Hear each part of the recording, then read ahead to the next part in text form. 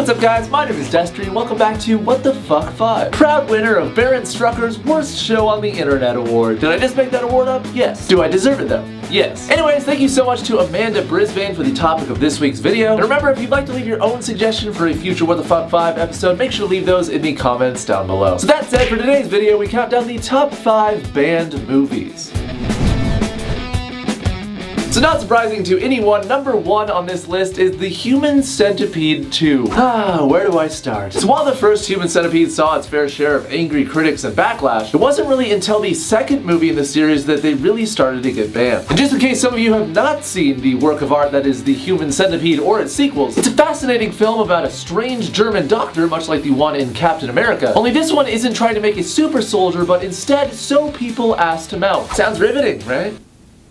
Yeah, not easy to masturbate to, that's for sure. Anyways, and although that might not seem like a big deal and you're probably wondering why this got banned, it's not so much the premise of the movies that people had a problem with, but almost more the things that people say or do in the movie, including, but not limited to, masturbating with sandpaper, shitting in people's mouths, smashing a baby's head under a gas pedal, and of course, these wonderful lines. Oh, I'd rather fuck that retarded boy, but... Stop them tears. You're just making Daddy's willy harder. Which I'm ashamed to admit that actually that last one that you heard is actually my text tone. And yeah, it's really awkward when I'm in the movie theater and I forget to silence my phone.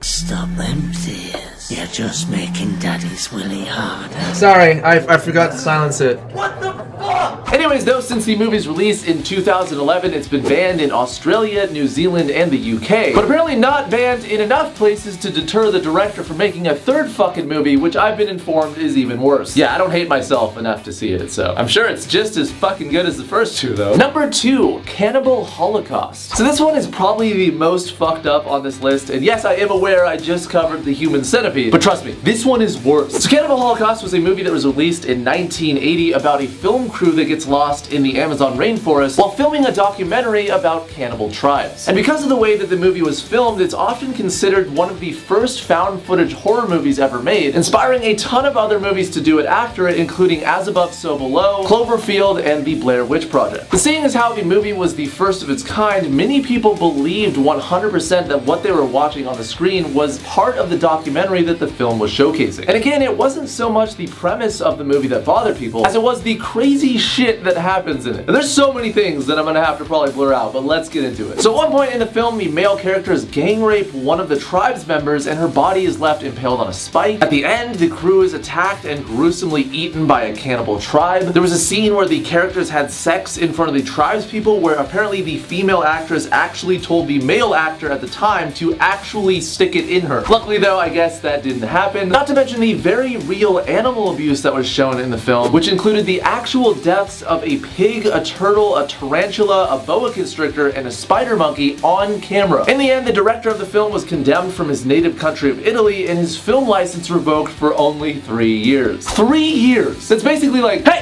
don't murder any more animals and make more fucked up films, okay? I'm serious, don't do it. For three years, and then you're fine. You can do whatever you want. After all of that, though, it caused the film to be banned in several countries, including Italy and Australia. Despite all the controversy, though, the film is now considered a timeless horror classic for pushing the envelope of film expectations at the time. Number three, Zack and Miri make a porno. So this one you may have actually seen already, as it was pretty popular when it came out in 2008, featuring both Seth Rogen and Elizabeth Banks in a comedy movie about being forced to make a porn tape to cover their rent. So the movie was pretty well received, a ton of people enjoyed it, but one of the people that didn't enjoy it was the minister of Thailand, who believed that it was going to make teens want to make sex tapes and banned it. Dude, I don't know if you know this, but people are already making sex tapes, man. You banning this movie is not going to affect the amount of sex tapes that are made probably in your country. what? I know, right? Who knew? Apparently though, that wasn't the only reason they blocked it in Thailand, as another reason that they claimed to have blocked it was because it quote-unquote depicted sex. Oh no! Not sex! That's horrible! Honestly man, like what is the big deal? If movies show sex scenes, people will want to have sex. And that's a problem? Yes! Because I don't have sex. Oh, well that explains it. The minister of Thailand just needs some booty, guys. That's all it is. It'd be funny though to message the minister and be like, oh, thank God you banned this movie, man. My cousin Rodney watched this movie and now he has sex with like a ton of different women. He makes like 14 pornos a day.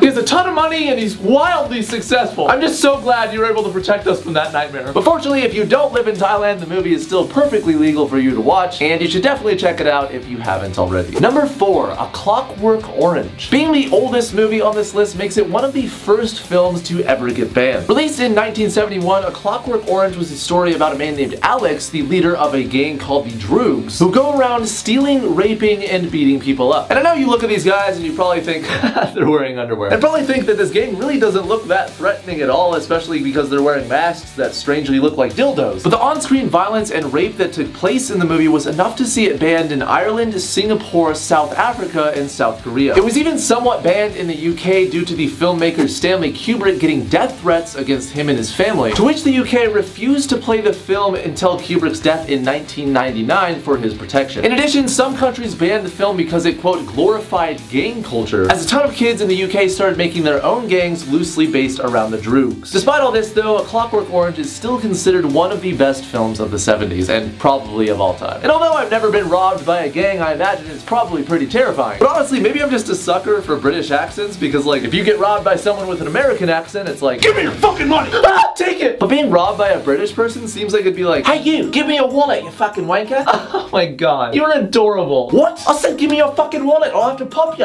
I'm sorry, that's just the cutest thing I've ever heard. That's the key to robbing me, apparently. I'll give you anything as long as you rob me with a British accent. And finally, at number five is Borat. A Borat? That was a terrible impression. I am truly sorry about that. Borat, though, is a movie that I'm sure you've seen before, or at the very least heard about, since everyone and their fucking mothers tried to do his catchphrases when the movie came out in 2006. And I actually remember watching this movie in theaters and just watching as like row after row of people just getting up and walking out of the theater in disgust. So if you haven't seen it, Borat is the story of Borat Sagdiyev, a fictional character made by Sacha Baron Cohen, whose journalistic ambitions lead him to America to improve his country of Kazakhstan. Is it Kazakhstan or is it Kaz Kazakh Kazakh Kazakhstan? Kazakh Kazakhstan? Kazakhstan? Kazakhstan just seems like it's like the American way to pronounce it, you know, like Kazakhstan!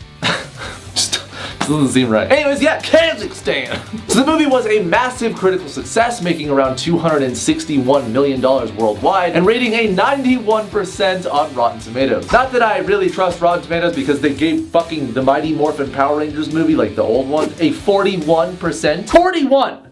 Bullshit. That movie's fucking dope. However, not everyone was a fan of the movie's incredibly dark humor, as it was banned in every Arab country except Lebanon, citing that the reason that it was banned was that it was placing harmful stereotypes on their people. Even the country of Kazakhstan actively protested the movie until very recently when they've actually thanked the movie's creation because of their enormous tourist boom. A censor at Dubai's Ministry of Information called Borat vile, gross, and extremely ridiculous, adding that if all of the offensive scenes were cut out of the movie, only 30 minutes would remain out of the 1 hour and 26 minute runtime. Yeah, sounds about right. Here's the thing though, I have an extremely dark sense of humor and this is one of those movies that you have to go into the movie, you know, just with an open mind, knowing that everything is a joke and not to be taken seriously. Because if you do that, then the movie is actually pretty good, at least in my opinion. But I'm also interested in your opinion. Do you think these movies should have been banned? Let me know in the comments down below. Anyways guys, that is it for this episode of What the Fuck 5. Hopefully you guys enjoyed this and if you did, make sure to give this video a like and also subscribe to the channel as I will be doing these every single week. Also if you would, make sure to check out my newest video on my channel, which is my mental age quiz. I felt like I was gonna fail it. As soon as I took the quiz, I was like, I'm going to be like six years old mentally. Turns out that's not the case, so if you wanna see how that ends up, make sure to check that video out in the description down below. That's it guys, I'll see you next time for another What the Fuck 5. Thanks for watching, and fair winds. Great success! What? Yeah, no, I can go. Cool.